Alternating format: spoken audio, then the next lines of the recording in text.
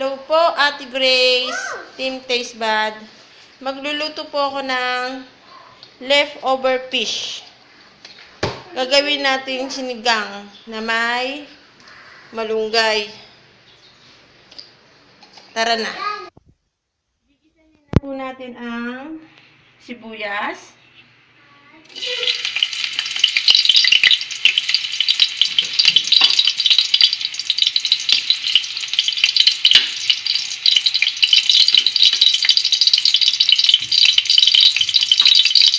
Luya. Gusto ko may luya.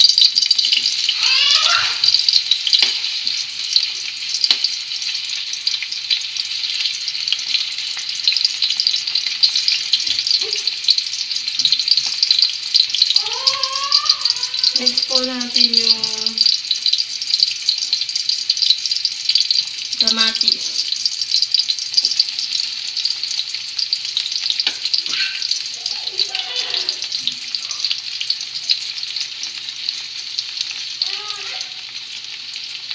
So, takpan muna natin siya.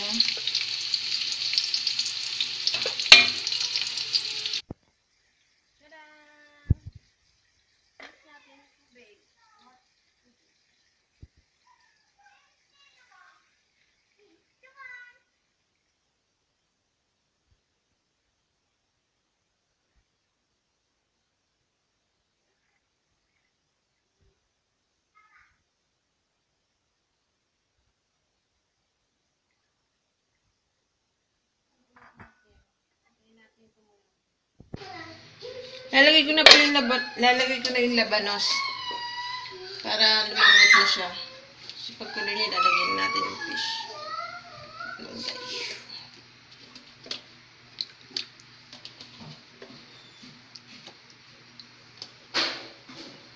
And then, tayo natin kumulo. Ayan po, kumukulo na po yung niluluto ko. Next natin ang malunggay.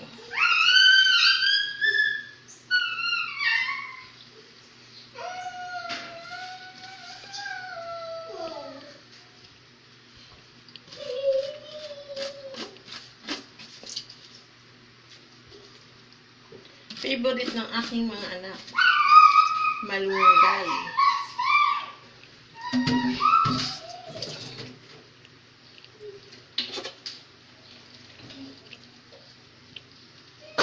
natin siya.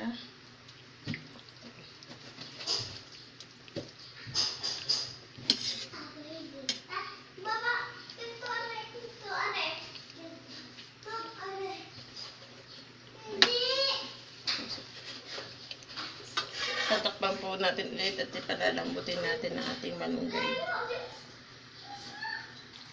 Ayan po, nakulo na po ang ating masyado madaming sabaw kasi anak ko mahilig siya sa sabaw. Hilig sila sa sabaw. Pakaluin pa natin medyo matigas pa ang ating labanos. Ayan po, nakulo na. Pwede na natin ilagay ang ating leftover fish.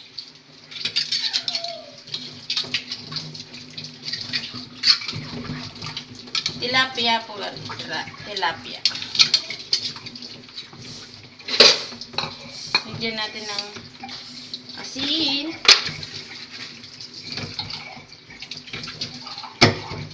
Asin.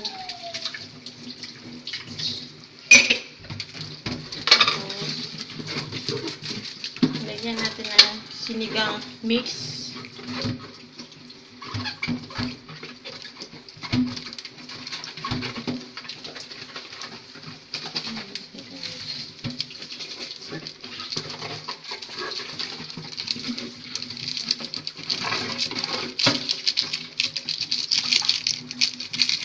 Ano lang yung tinakong pampalasa?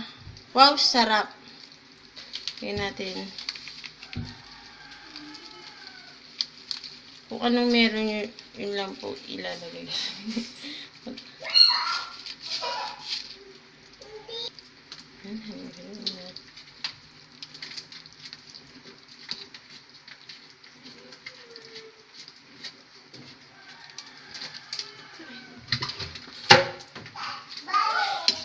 Pakuluan ulit natin. Isang kulo pa. Finish. Finish na siya. Finish na. Ayan.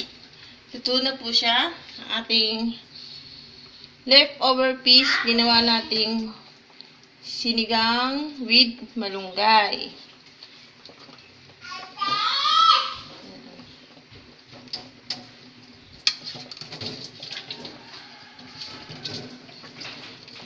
Nilagyan ko siya ng luya para hindi siya malansa kasi nga tira po siya. Daddy just like.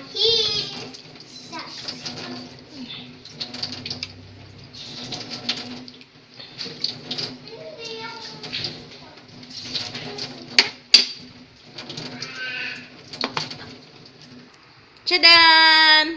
Ang aking sinigang na tilapia. Tuwan-tuwa siya kasi may malunggay na naman siya. Ha? Kain na. Hindi, hindi. Sarap. Sarap ba? Yes po. Ang aking isa pang anak na